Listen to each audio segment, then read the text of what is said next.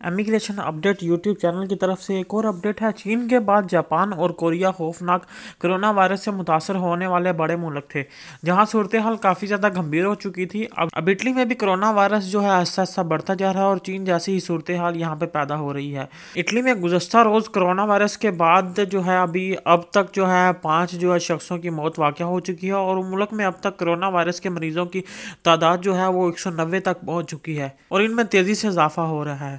کہ corona virus کے پھیلاؤ میں تیزی آنے پر حکومت کی طرف سے انتظامات سخت کر دیے گئے ہیں اور ایسے گیارہ شہروں اور قصبوں کو سیل کر دیا گیا ہے جہاں وائرس کے مریض موجود ہیں۔ یہ شہر اور قصبات اٹلی کے خطوں لومبرڈینی اور وینٹو میں واقع ہیں۔ یہی دو خطے وائرس کی لپیٹ میں آئے ہوئے ہیں۔ اٹلی میں کرونا وائرس کے حوالے سے صورتحال اس قدر سنگین ہوتی جا رہی ہے کہ بیرون ممالک سے اٹلی جانے والی جتنی بھی پروازیں ہیں، لوگ ان کو چھوڑ کے فرار ہو رہے ہیں۔ گزشتہ روز برطانیہ کی ایئرپورٹ سے اٹلی آنے والی پرواز سے کئی مسافر ٹکٹ بک ہونے کے باوجود سوار نہیں ہوں۔ جبکہ ایک مسافر جہاز میں سوار ہونے کے بعد اتر کر چلا گیا۔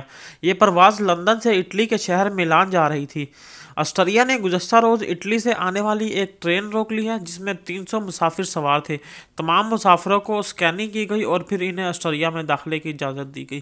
تو اس کے متعلق جو ہے، یہاں کی گورنمنٹ نے احتیاطی تدابیر جو ہیں وہ بتائی ہیں۔ اس کے لیے یہ بتایا ہے کہ آپ زیادہ سے زیادہ جتنا ہو سکتا ہے اپنے گھر، اپنے جو ہاتھوں کو صاف ستھرا رکھیں اور زیادہ اور تیس سیکنڈ تک ضرور دھوئیں۔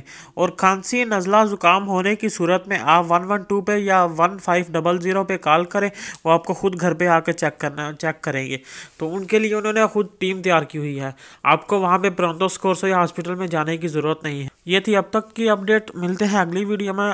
اللہ تعالیٰ آپ لوگوں کو اپنے حفظ و بان میں رکھے۔ آمین۔